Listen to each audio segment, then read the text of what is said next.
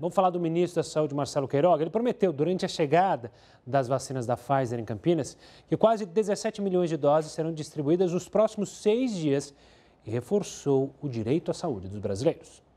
A saúde é um direito fundamental consagrada em nossa Constituição Federal. Saúde é um direito de todos e um dever do Estado. E esse direito hoje ele se materializa através de uma ampla campanha de vacinação da nossa sociedade. Nos próximos seis dias, vejam só, nós vamos distribuir 16,8 milhões de doses de vacinas. Isso equivale à população de muitos países, Portugal, Grécia, Israel. Tudo isso é possível graças à força do nosso Programa Nacional de Imunização.